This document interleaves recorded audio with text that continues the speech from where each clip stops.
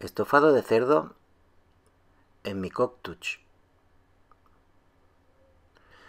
Tengo los ingredientes preparados antes de empezar a cocinar. La verdura, las especias, la carne. En este caso voy a utilizar costilla de cerdo, pero podéis utilizar, que os digo yo, un lomo o jamón o todo ya lo tengo troceado. También tengo limpio troceada la verdura, la zanahoria y los champiñones que voy a utilizar. Lo tengo cortado los guisantes que no he encontrado frescos los voy a utilizar unos congelados de, bolsa. Y lo mismo me ocurre con la alcachofa que voy a utilizar mm, congelada porque no estamos en temporada. Me quedan por preparar unas patatas que, más adelante las pondré. No sé si le voy a hacer estofada o la freiré, pero bueno, ya os cuento luego. En primer lugar voy a hacer un sofrito, para ello pongo 50 mililitros de aceite, utilizando el vasito dosificador y lo que voy a hacer en primer lugar es calentar este aceite para que el sofrito se haga bien. Lo voy a poner un minuto, 60 segundos, a una temperatura alta, unos 110, 120 grados mejor, y a velocidad 1. No me importa aquí la velocidad de la hélice, lo dejo. Pasado este tiempo, la máquina me avisará porque estoy cocinando en modo manual. Aquí pongo yo el tiempo, la, temperatura y la velocidad de la hélice. Y ya terminado los 20 segundos a calentar el aceite a 120 grados y ya está listo. Ahora voy a abrir la máquina para introducir algunos de los ingredientes. En principio voy a hacer un sofrito. El sofrito voy a, va a ser consistir en tres ajos, una guindilla cayena, por darle un poquito de picor, de opcional, pimienta que voy a poner en grano porque la máquina la va a triturar.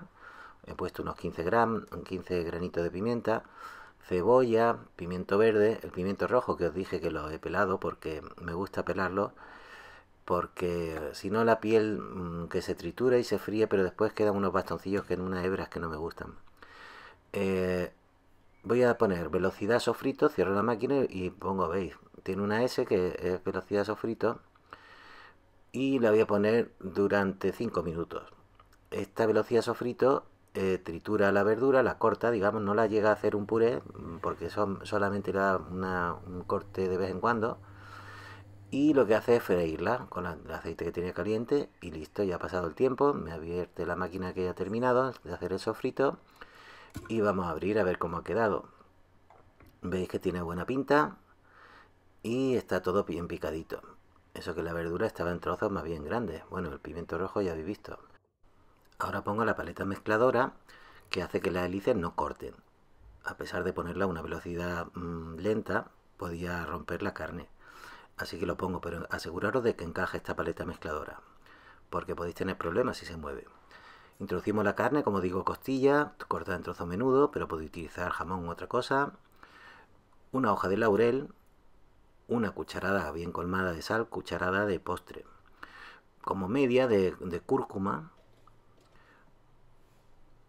y pues como 50 mililitros de, vino blanco. Yo he utilizado mm, vino de, de Sanlúcar, una manzanilla de Sanlúcar. Y 300 mililitros de agua. Ya os digo que las cantidades las pongo en el cuadro de información en un vínculo al blog.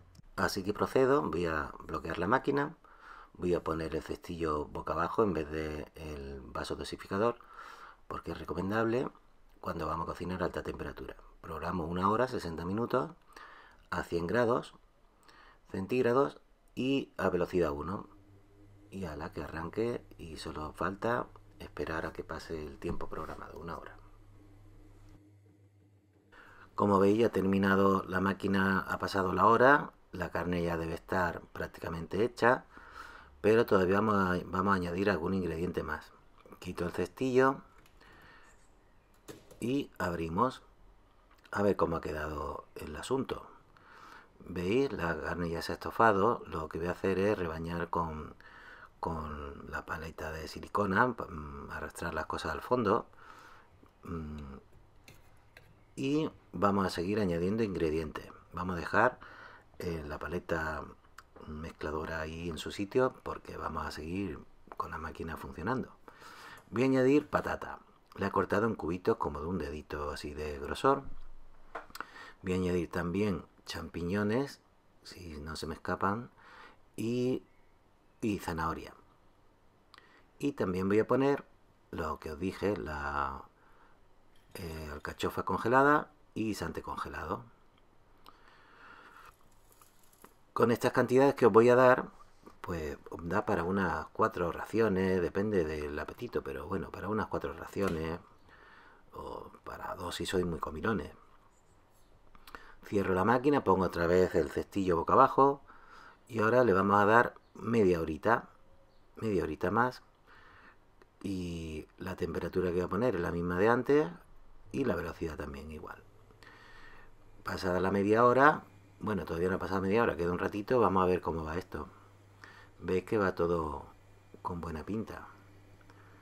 Se va cociendo todo. En cuanto esté la patata eh, tierna ya podemos, podemos parar, pero vamos a dejar la media hora que pase. Voy a esperar un poquito más y, y a ver cómo queda. Paciencia. Ya ha terminado la máquina, le damos a confirmar y ya está todo listo. Vamos a abrir a ver cómo es el resultado.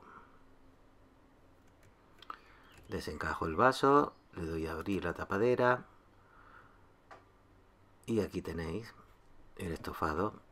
Aquí en el vaso, pues hombre, no tiene la pinta que tiene de presentación, pero bueno, si lo pasamos a una fuente, veréis qué buen aspecto que tiene y, y probadlo que si hubieseis cortado la verdurita un poco más gruesa y tal, estuviera la patata un poco más hecha, podéis dejarlo un poquito más, probarlo antes de sacar. Yo es que ya lo, he probado fuera de cámara.